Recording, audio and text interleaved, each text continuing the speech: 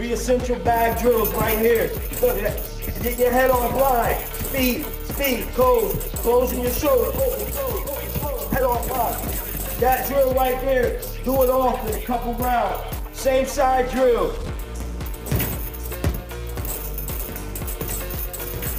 Downstairs, upstairs, upstairs, downstairs. Drive it through your hips. Same side drill.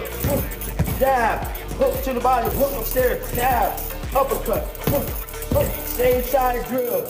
Then a flow drill. You get on there, get a couple rounds of flow drill. Flow, flow, flow, flow. Move your head off right. Flow drill. Couple rounds of all three of them. Dr- these drills right here. Flow drill. This, this how you become a boxer. On the heavy bag, using it. Flow, flow, flow. Same side. Speed.